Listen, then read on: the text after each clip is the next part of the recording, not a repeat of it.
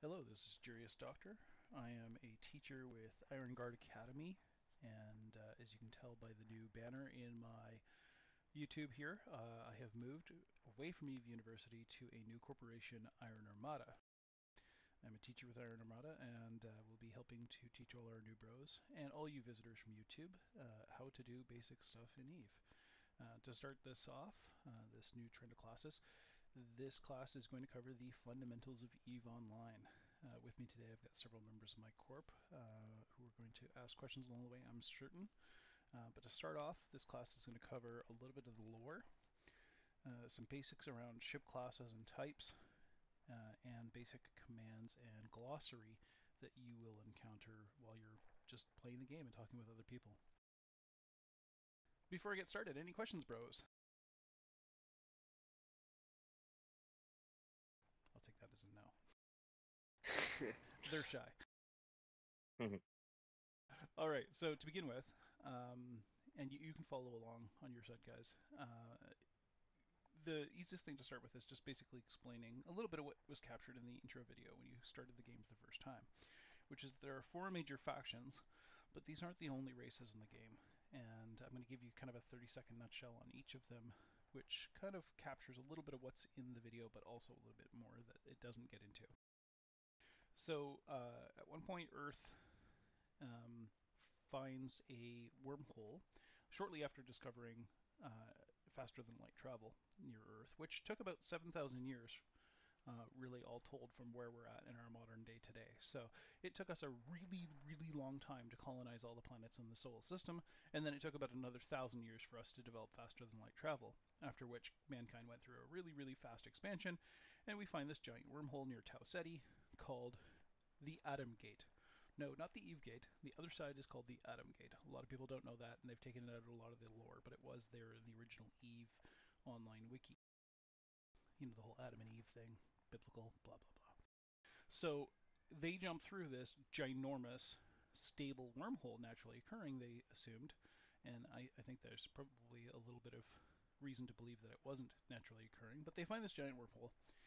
And this thing stays open for about 75 years, during which all of the mega corporations of old Earth, the old nations, the the you know the Universal Catholic Church, all these big organizations move through and start settling planets and taking over large swaths of land, terraforming new worlds, and you know setting up jump gates to navigate from system to system without having to spend the hundreds of years traveling in between at light speed. And about 75 years go by, and boom, the thing starts to destabilize. The Eve gate collapses. Um, we don't know if it started collapsing at this end or if there was some catastrophic event on the other side, like a supernova that blew it out. But the energy emission from the Eve gate basically set off a chain reaction through the Stargate network and blew out everything and separated everyone uh, from everyone else. And any nations that were dependent upon resources from Earth to keep growing um, failed pretty much. Uh, most of the ships that were in space in the area of, of, of the, what is currently Amarr space around the new Eden system, everything basically within seven systems that was in space was vaporized. Uh, stations destroyed, um, planetary colonies completely wiped out. Like it was a huge, huge explosion. And most of the Jumpgate network, uh, the Stargates that connect system to system, they were completely wiped out. Uh, and almost everybody was knocked back to a Stone Age level, basically. So you have these giant ships that have landed on planets or crash landed, and people who, on the surface, have you know sort of gotten by on the skin of their teeth, pulling these things apart and salvaging them to make farm tools and boats and you know basic technologies. So it really did a number. Over the last uh, 25,000 years, um, mankind has slowly recovered to the point where we're back in space. We have interstellar travel, and we've rebuilt most of the Jumpgate network. Um, there are four major factions the Amarr, which are the call them the hereditary and cultural descendants of the United Catholic Church. Um, this group, uh, having the longest recorded history uh, of the nations that sort of experienced a great dark age. Um, most of their you know recordings are, are dogmatic and, and doctrine in nature, and like any good bureaucracy, they are slow to move and they favor force. So you'll find that Amarr ships are armor tanked, they're slow moving, but they deal a lot of damage and they hit hard. Uh, their primary damage type is EM and thermal, and they use lasers to inflict their damage and sometimes missiles. But their ships tend to favor, you know, brute force and tank Then there's the Gallente. A lot of people used to think of them as being the space French, but really they're more like the space Northern Europeans. Uh, if you you can think of them in the in the way of you know being focused on democracy, uh, freedom of speech, individuality, and scientific research. The Gallente are huge in you know biomedical research, in cybernetics, and in um, drone technology because being that they're so individualistic and free loving, they prefer not to get their hands immediately dirty. They'd much rather have drones go out and do their work for them. The ORE Corporation um, actually began as a Gallente venture to increase the efficiency of mining by developing ships and drones that were specifically aimed at mining.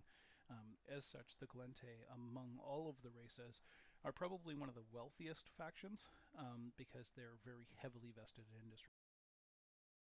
Their ships tend to focus on drones for damage, hybrid weapons, which basically are like railguns that shoot a plasma charged round, and uh, they tend to favor shields, although they have learned some lessons from the Amarr in using armor because sometimes it's simply more effective, especially on a larger scale.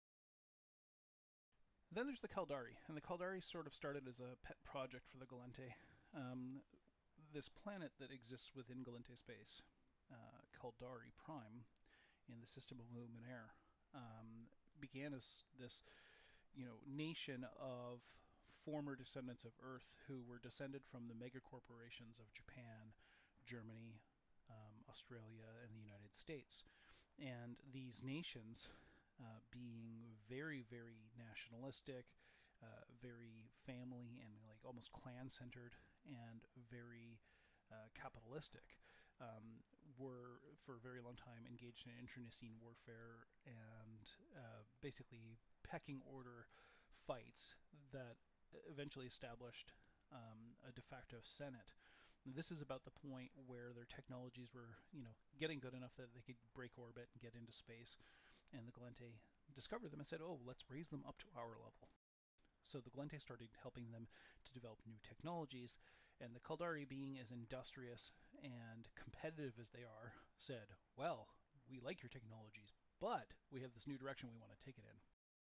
And because they were really, really, really competent when it came to computer systems, they started taking Gallente systems and finding ways to screw with them um, they invented ECM, which is uh, electronic countermeasures.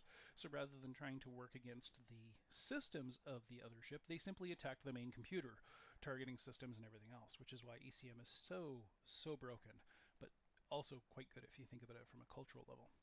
Uh, they also developed shield emission systems that allowed them to simply protect their ships from receiving damage at a physical level at all. And they tend to favor ships that are fast and maneuverable and use rockets for damage because why would you bother with gunnery when you can just fire and forget? And of course, anything that puts the most damage downrange, which is, uh, if you think about it, a, a very American way of looking at warfare and still holds true in the Caldari of the future. So I like to think of them as the Space USA. And then there's the Minmatar. And the Minmatar um, are really not one cohesive nation or one central group of tribes, but really all of the indigenous First Nations and First Peoples of Earth that had left and sort of banded together. Um, think of them as as a mixing of not just like the First Peoples tribal nations of North America, but also the Aborigines of Australia, the you know uh, the Maasai of Africa, all the different indigenous groups from around the world, the Inuit, um, you know the Mongols, come together and created uh, basically a home for themselves where they could use their industriousness user joined their, your channel. their mobility and their freedom to get around in a way that um, didn't tie them to any one place. So for a very long time, the Matari had some user joined your channel, and they had they were concentrated in those home worlds, but they uh, also maintained a very mobile lifestyle, and their ship designs are very pragmatic, uh, very, you know, utilitarian, and they're focused on speed. But because they haven't had really User a cultural drive channel. to keep developing the technologies in the way of other nations, they're still using weapons that were developed on old Earth. So artillery cannons, uh, and uh, basically guns that use propellant to shoot around downrange. Um, so they, they tend to favor their their mobility and the ability to just pummel things with rounds. So that's the four major factions. There are other groups. Um, the the other groups that you you'll find in space and that you'll encounter are the individual criminal factions like the Angel Cartel and Mordu's Legion. Mordu's began User joined a your channel. mercenary corporation that basically you know slaved itself out to different militaries when the need arose for extra hitting power. There are the Sansha's, which, uh, long story short, uh, their leader went crazy and started turning people into slaves. Um, there's the uh, Serpentis Corporation, um, which really specialized in the manufacture of drugs and pharmaceuticals. Uh, for a little while, Serpentis owned ORE, uh, but ORE has recently been bought back from them and taken control of by the Upwell Consortium. Uh, interesting note Upwell Consortium is a corporation owned by Capsuleers and created by Capsuleers. They're the ones who developed the citadels and the engineering complexes, but they're also the only faction that doesn't have any ships in terms of playable models in game. Then there are the Drifters and the Jove. The Jove, unlike everybody else, didn't suffer the major setback that every other faction did when the Eve Gate collapsed. So Jove ships are super advanced and super cool. They're also the ones who gave us pod technology and the ability to create uh, jump clones, um, basically making Capsuleers immortal. Um, and part of the reason they didn't suffer that big setback is that when they left Earth, um, they took everything they needed with them. So they were pretty much self-reliant. They could build and maintain cities that ha- that were self-sustaining without relying on resources or technology from Earth. The Drifters are a splinter faction of the Jove uh, that you know where where it breaks off in the timeline is really uh, kind of up for debate, and there's a lot of discourse around it. But basically, uh, Drifters are biologically Jove to a point, um, but they have very very different motivations, and uh, they're definitely at war with the other factions and with Capsuleers. If you open your ship viewer, so you go to your Neocom, and then there's the ship tree icon, which is a box with an A in it. If you start with the Amarr at the far left, each race has, I believe it's 56 ships. And there are over 300 in total in game, but the main four factions um, have somewhere in the range of 220 ships among them. If you zoom out and look at the whole tree, going from left to right, you have the smallest to largest size.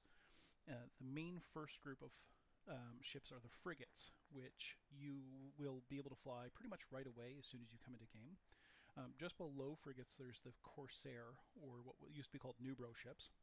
Uh, Corsairs, um, like the Amarr Impairor, are introductory ships that you basically get for free anytime you lose a ship. So if you fly into a public station in a pod, they will give you one of these, fit with some basic weapons and mining equipment, and one unit of tritanium. No one really understands why there's one unit of tritanium in there, but let's just assume that it's a gift from the gods of New Eden. Frigates, uh, there are six major frigates for each nation, and they all basically have the same roles. Um, as competition will go, the different nations compete with one another, so they're all trying to match each other's technology. Um, in each of these groupings, you will find an exploration ship, a ta- fast tackle ship, a small gunship, such as the Tormentor, a brawler, like the Punisher or the Tristan. You'll find a um, repairing ship or a um, logi ship, as we call them, logistic ships. So the Inquisitor is a good example of that. And you'll find an E-war ship, like the Amarr Crucifier. Each individual race has its own comparisons for that, and as you go up the tree vertically from that first group, you get the specialized ships. Um, so you get your police or faction um, navy ships, so like the Imperial Navy Slicer, which is a fast tackle and combat ship for the Amarr Navy. And you'll find the Crucifier Navy issue, which is an E warship. Um, now, the Navy ships will vary from race to race, and they have their own benefits. And some of these ships will be, you know, um, boosted for a particular type of tank or resistance. Um, some will deal more damage, some will have benefits to their tracking speed or the type of damage that they do, um, or the bonuses for E-War, but um, each of these ships basically falls within its own class, unique to its purpose. So if you compare a fast tackle ship like an Atron to a executioner, they're going to have very similar bonuses, but they'll be slightly different, reflecting the racial advantages of playing, say, a Gallente or a Caldari or a Minmatar. But more or less, they're all the same. As you move up, you get into um, interceptors, which are fast ships that basically ignore um, bubbles in space, basically anything that would prevent them from engaging their warp drive. Um, they can still be directly scrammed and stopped by uh, offensive modules. Then there's the assault frigates, which uh, unfortunately got the nerf bat pretty hard a little while ago. They haven't really been, you know, uh, brought into line with some of the features of the newer ship. There's the Black Ops or Covert Ops ships um, in the frigate size, which are um, stealth bombers and exploration uh, specialist vessels. Then there are the E-War frigates and the logistics frigates. So basically, further specialized versions of what you get in the frigate class. Now, using the frigate as a base price, if you move up from there into destroyers, destroyers are two to three times the cost of a frigate. Um, they're basically big frigates with uh, either more tank and versatility or more guns, but they're a little squishy. So frigate level armor, but much bigger ability to uh, expand into more versatile roles and deal a lot of damage. In the example of the Amarr, there's the Coercer, which gets eight high slots for guns. Uh, they're a great little PvP ship. And then there's the Dragoon, which gets the benefit of drones and other things, like neuting, the ability to drain out energy of enemy ships. Going from there, you get command destroyers, you get uh, interdictors, which again put out the bubbles that stop other ships except interceptors, and then tactical destroyers. Moving to cruisers, cruisers are four to five times the cost of a frigate. Um, Navy cruisers can be 10 times the cost of a frigate.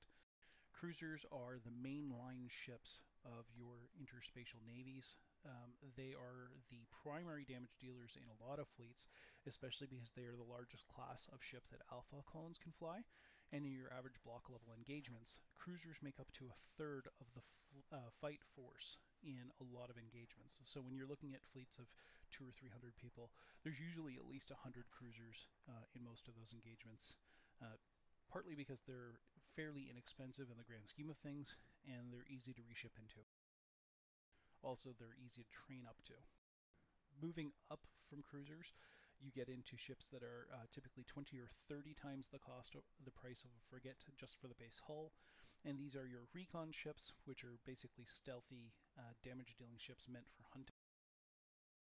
Your um, heavy assault cruisers, which are exactly what they sound like. They're bigger, heavier hitting, tankier versions of their cruiser cousins the heavy interdiction cruisers, which, just like the destroyer level interdictors, um, they have the ability to create bubbles. They also have modules that they can fit to themselves that make them the bubble. So they create basically a big anchor point, which you cannot escape from by warping out, unless you're in an interceptor. Then there are the logistics cruisers, and fi finally at the top, one of the uh, higher skill level requirement ships in the game, which is the strategic cruisers. Now, strategic cruisers are unique because you have to put them together, you have to assemble them, and there are um, several major subsystems which you have to have in order to build it. Now, the interesting thing with this is that um, you cannot actually build that ship unless you have one of each of the subsystem types. You can buy the hull, but unless you have all of the subsystems defensive, electronic, engineering, offensive, propulsion, and strategic it will not let you build the ship. And each of those um, subsystems comes with its own skill group. So this is what makes it a little bit longer to train into. They also are unique in the fact that Um, in a ship subcapital in size, if you have one of them blown up, you lose skill points when it blows up, uh, which can really be a setback for you, especially if you uh, are pretty tight on your skill.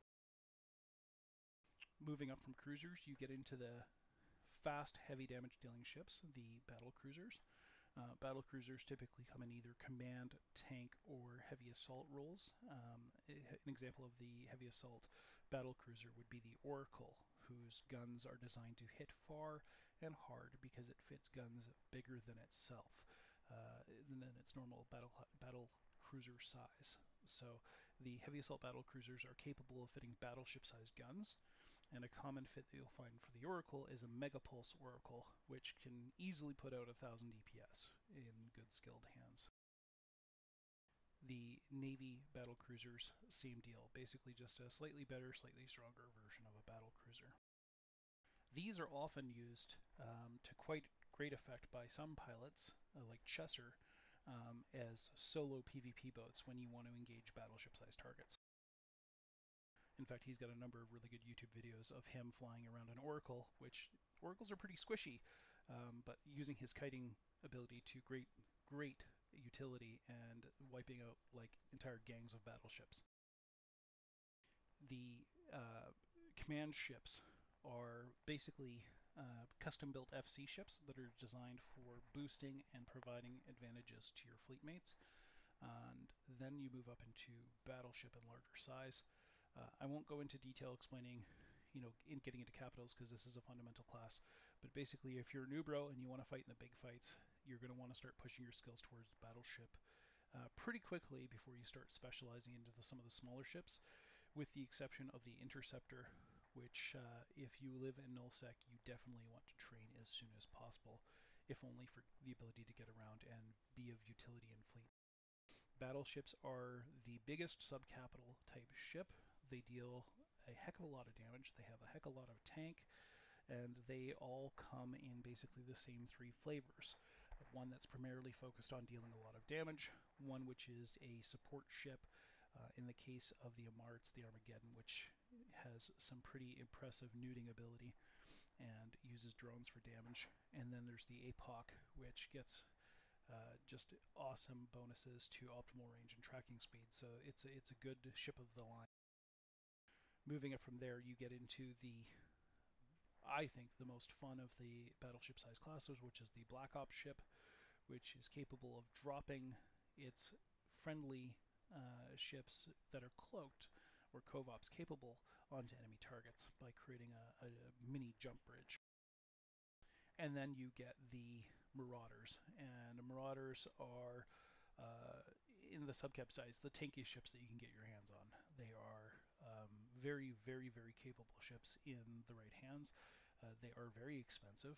Um, you know, it's not uncommon to see a three or four billion ISK paladin floating around out there, um, and uh, with the with the right setup, they're more than capable of surviving a drifter uh, doomsday weapon um, and, and taking a single or multiple blasts from one in the right hands.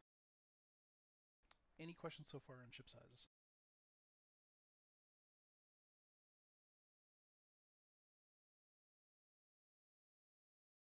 Awesome. So each race has its own, you know, variants of these. Um, when you start getting into the factions, there are the Guristas, you know, the Sansha's, Blood Raiders, and so on. Each of these is typically limited to a frigate size, a cruiser size, and a battleship size ship. User joined your channel. exception of the Sansha's and the Serpentis, which go all the way up to capital. Now, I'm pretty sure we're going to see capital ship sizes in the other factions pretty soon, but, you know, as is anything with game development, those things will get rolled out when they're finished. The only group that diverges from these racial groups is ORE. And ORE is where you get all your mining ships. If you want to be an industrialist, this is where you're going to want to start training. You don't necessarily need to be a miner all the time, but there's a lot of uh, advantage to some of the larger industrial ships in here, especially if you want to make capitals. Um, and in that way, training towards the Rorqual so that you can mine like a motherfucker. Um, this is uh, definitely where you want to go. And they are awesome because you can, by yourself and with a couple of support ships, basically clean out entire systems with enough time. Solo. Now that covers everything I needed to get into for the ships. I've touched a little bit on the damage types of the different um, nations and, and, and what they do. User left your channel. A really quick cover of the glossary of Eve. And the primary ideas is that there are three types of getting ar- around in Eve. There's wormhole travel, there's gate travel, and then there's in-system travel. Each of these come with their own terminologies that you'll hear in fleets. The word jump is almost always exclusively reserved for something that initiates a session change. And what a session change is, and you'll hear this term session change. Session change is when you move from one system to another, whether it's going from one system through a, a Stargate into another system, or going through a wormhole into a J class system or a wormhole system, your browser, your game viewer, your client has to reload space and populate the new region of space with the objects that are in it. So it's basically deleting your current location and putting you in a new location. It's spawning you somewhere else. And that's called a session change, where it reloads all that information and puts you into the new area of space. It's moving your record basically on the server. Now, se- uh, session changes accomplish a few things. Uh, if you ever find yourself where your client's getting stuck and you cannot move you move your mouse, mouse around to get your camera angle changed, um, that's a, a, bug that sometimes happens if your session doesn't load properly.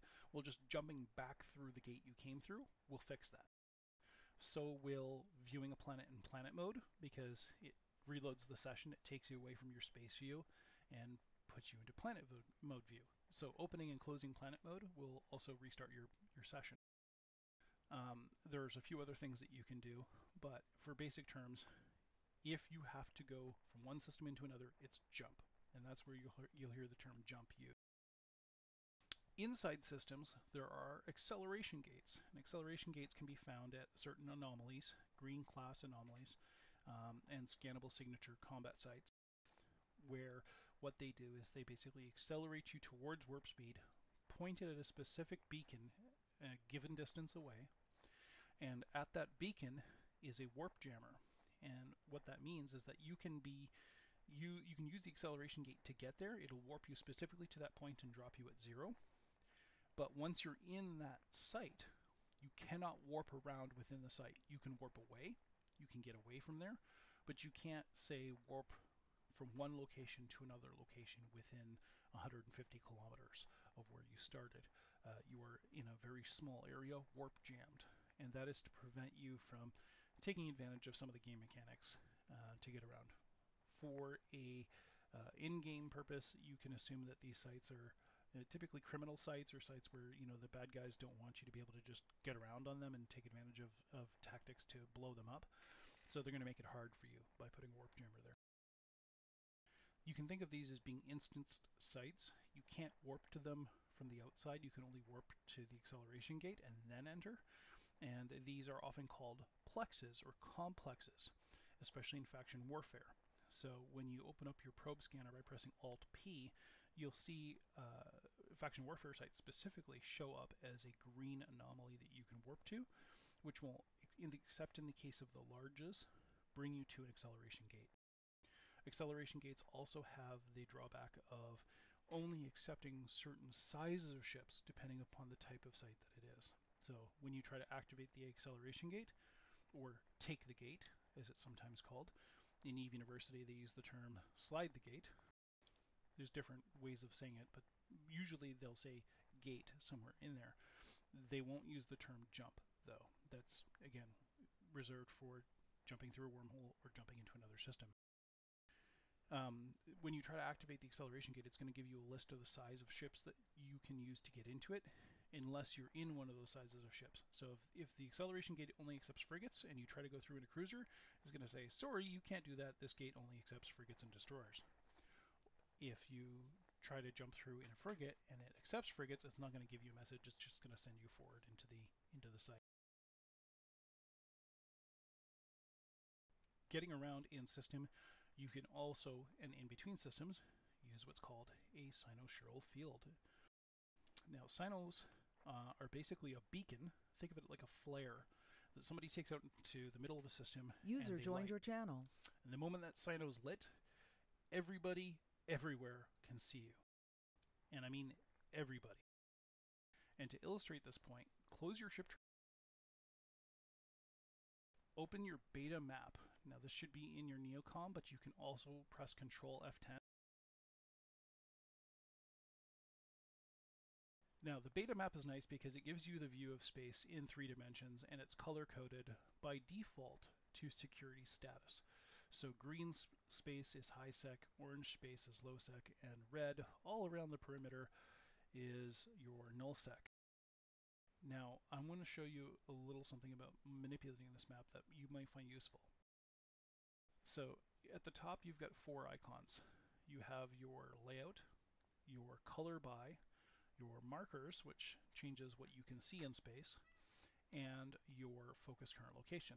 So, I want you to click focus current location and that's going to reorient the map centered on the system you're presently in. Then what I want you to do is go to the color by, go down to, um, let me just see here. User left your channel.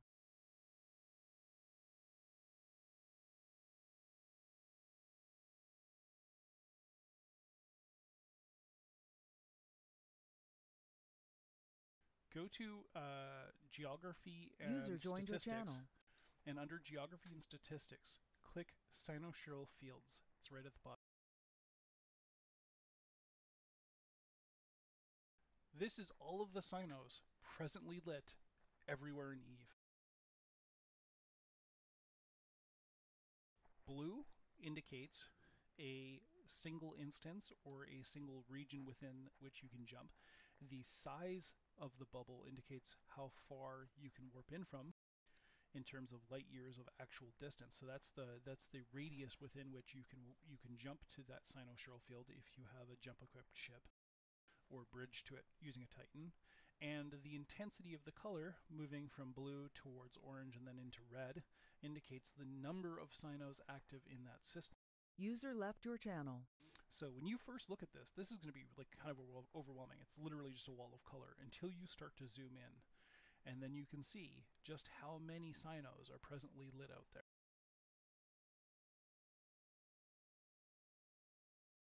And it will tell you if it's an active cynosural generator or if it's a module.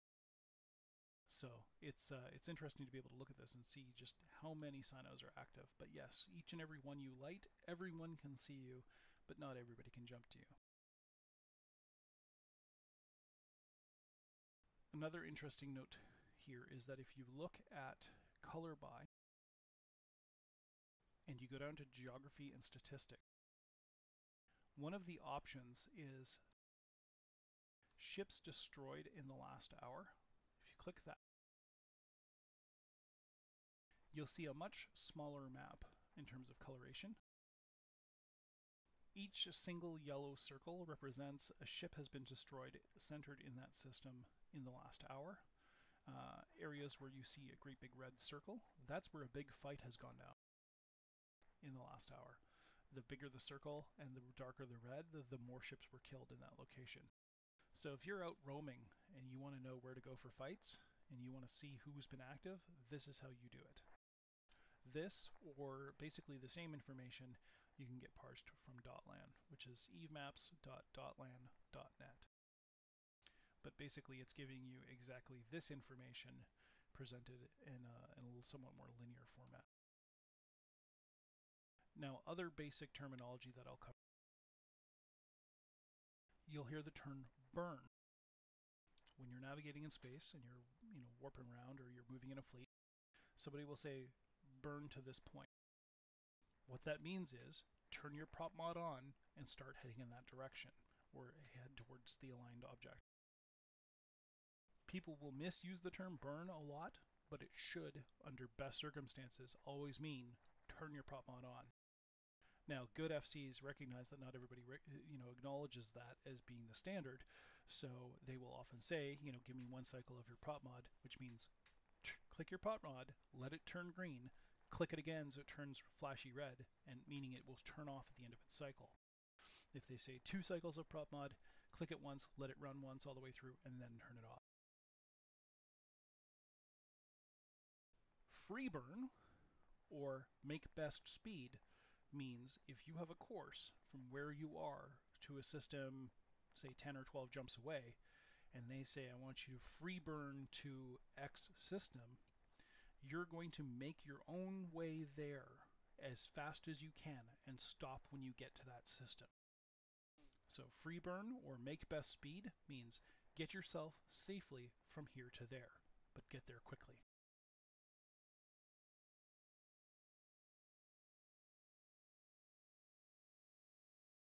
You'll hear people say things like get in under their guns. What this means is that if somebody is using turrets to fire on you, those turrets have a speed at which they can track, meaning go from one side of an arc to another. And the way to think of this is that um, your ship can go only so fast, depending on how you've got it fit.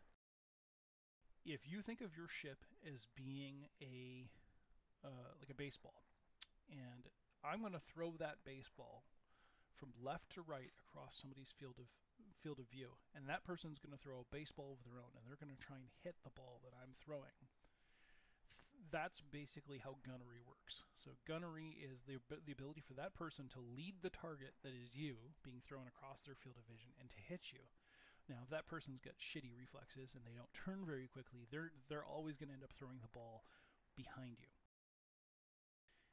if they are really quick on the draw and throw really hard, they might overcompensate and miss by hitting in front of you. But as long as they can track ahead of you, there's a chance they're going to hit. If you can go fast enough that they can't follow you, speed tanking, they're not going to hit simply because they're going to miss all the time. But there's a range, a sweet spot within which the farther you are away, the easier it is for them to hit you because they have longer to compensate. The closer you are to them, moving at the same speed, the faster they have to turn to be able to hit you. It's kind of like trying to um, grab something off the top of a moving car as it's driving right past you. You know, you, you see it coming, you've got a little bit more preparation time but the closer it gets to you, the faster you have to be able to compensate for the fact that it's moving by you. It's pretty basic physics. So, getting in under their guns means that you take your transversal speed, your ability to move around them, and you get close enough to them that they can't turn their guns fast enough to hit you. And once you get in under their tracking range, uh, tracking speed in and respect to the range at which they're firing, they can't hit you after a certain point. So um, I'll get into the math in a gunnery class later, but how it basically works out is the closer you are to them and the faster you're moving, the harder you are to hit. So when somebody says get in under their guns, it means find a close orbit, go as fast as you can, and once you're not taking damage and you're you're orbiting them and you've got a good orbit on them, start returning fire. The trade off in this is that if you're really, really fast or you're in a very fast moving frigate, you will actually have to intentionally slow yourself down. You're, you're so, slow yourself down so that your own guns are able to hit because your guns might not be able to track for the fact that you're simply moving too fast yourself.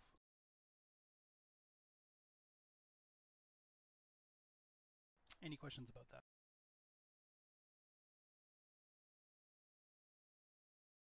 Missiles pretty basic. Um, they're fire and forget. Missiles do damage based on two things uh, signature size and explosion velocity. Um, explosion velocity and absolute velocity are tied together. What that means is how fast does that explosion go from its zero point, where the missile is, to as far out as that can deal damage. So how big is the explosion area and how fast does it take for that explosion to happen? Are we talking like nuclear warhead going off or are we talking like bottle cracker? So um, explosion radius can be overcome by absolute speed, how fast your ship is moving. If your ship moves faster than the explosion radius of the missile, it's going to go off behind you. You're not going to take a lot of damage. And then there's signature size. And the easiest way to understand signature size in missiles is in the analogy of somebody trying to throw a baseball at another baseball. A target painter makes something look bigger. So if the baseball that I'm throwing that you're going to try and throw a baseball to hit suddenly becomes the size of a watermelon, well, you're going to find it pretty easy to hit the watermelon. But if you have the ability to make your signature smaller, imagine trying to th- hit a thrown ping pong ball with a baseball. It's much harder. So signature size can affect whether or not that missile is able to adequately apply damage based on the size that it is.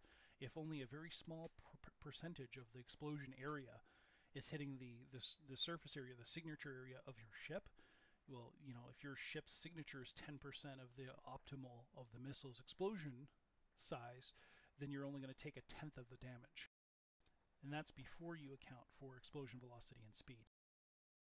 So, by being very small and very fast, it makes it much harder for missiles to deal damage to you, which is why battleship class missiles deal almost no damage to frigates.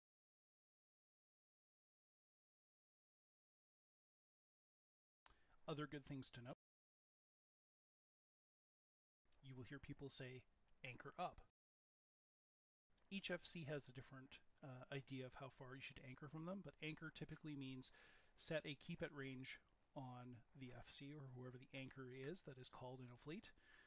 So you will set on that person keep at range, say 500 meters or 1,000 meters, whatever the default's been set by your FC.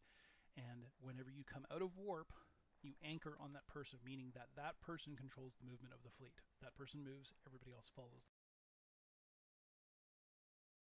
You'll hear the term scatter. Usually, this is happening when you're about to get wrecked. User left your channel. Scatter means find an object, a celestial, a bookmark, something in space that isn't where you are, and get yourself there. Get away. Basically, starburst out in a random direction and go off to another location. Once you get there, bounce, meaning you get there, you pick another random celestial, and you warp to it and you keep moving until the FC gives you a muster location or a place that you can all get back to. Other common uh, statements or phrases that you'll hear are things like overheat. Overheating means that you're literally forcing too much energy through your modules. They're going to do a little bit of extra damage or be able to absorb a little bit of extra damage within a given amount of time, but the drawback for that is that they are going to burn out. You're pushing them further than they can go, and eventually they're going to fail. Uh, you do have a skill called thermodynamics that lets you adjust how much you can compensate for that heat damage of pushing too much energy, energy through those modules, and that will slow down that process so that your your weapons and your uh, defensive modules will last longer when you're overheating them, but they still will eventually burn out. That damage can be repaired with nanite repair paste or by sidling up to a uh, engineering complex or a citadel that is friendly to you or open to your group, your corporation, or yourself, uh, and it will provide you free reps. You can also dock at any station and get a repair quote and have your ship repaired by the maintenance people in that station. If uh, if somebody's giving you the order to overheat, typically it's going to be your weapons, but uh, the FC will call that. There is definitely advantage to overheating your prop mods. You go faster, or over uh, overheating your defensive modules. You can take more damage. The trade-off in that is that if you overheat your defensive modules and they burn out, you're dead. Pretty much. That should cover most of the basic um, glossary that I had laid out. I think the, the last remaining one that I could probably cover is the difference between an anomaly and a signature, which is that if you open your probe scanner by pressing Alt P, probe uh, scannable locations will show up as a signature with a 0% next to it, meaning that you haven't put out probes and begun scanning for it. Um, there are locations, either wormholes or combat sites or data sites or relic sites that you can scan down and then warp to once you've fully narrowed down where that thing is in space. And the other ones, anomalies, are the green locations that you can warp to. Uh, and those are sites that have a beacon saying, Here I am, you can come to me now. but exploration in this game is entirely focused around pretty much scanning down those sites that aren't immediately visible to themselves or to anybody else. Any questions? Anything at all, don't be shy. No. Awesome. Well, that covers the uh, EVE fundamentals. Um, I will have another class later on fleets and fleet commands, and I will be, over the course of the next couple of weeks, teaching classes on fitting and recording videos for those, as well as uh, uh, classes on gunnery, missiles, and uh, electronic warfare. Thanks everybody for joining me. I'm going to stop recording now, and you have a good rest of your day.